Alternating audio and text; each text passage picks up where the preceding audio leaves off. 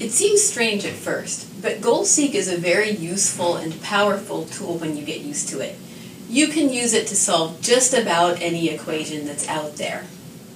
The balance in Amy's savings account can be modeled by the equation B equals 1750 times 1.02 to the t, where B is the balance after she has had the account for t years.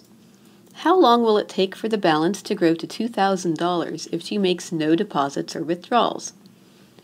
First, take a look at what it's giving you and what it's asking for.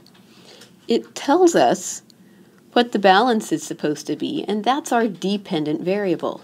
And what it's asking for is the value for the independent variable, and that's in an exponent, and we can't solve for an exponent by hand. So this is when we need to use Goal Seek. Start by getting Excel ready, and we need to put labels in our columns. First, make a label for time, which is our independent variable, and then label a column for balance, which is our dependent variable. We don't have any information to enter for the time, and it's tempting to put in the $2,000 for the balance because that's what we want the balance to be. But don't succumb to that temptation we need to put a formula in here. You enter the formula the way you'd put it in a calculator or write it down normally until you get to the variable. You can't just write the letter T because Excel won't know what you mean. You have to put a cell reference to the cell where you want the time to go. You can either type the cell reference or you can click on the cell.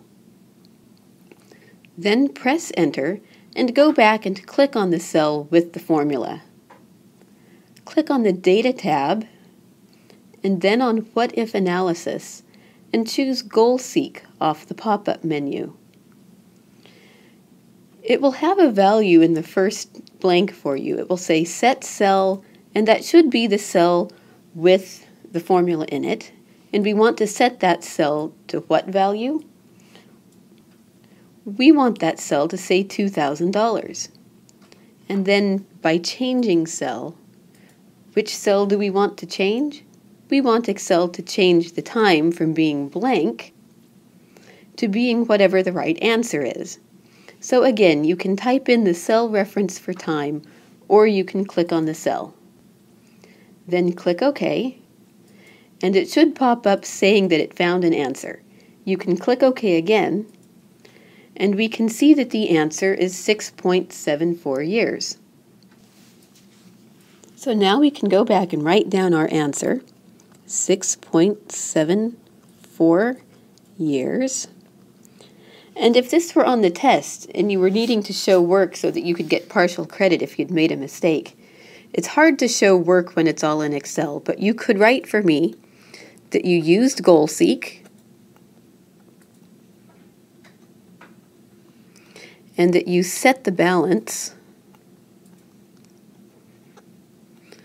to 2000 and that would be enough information for me to know what you did to give you partial credit.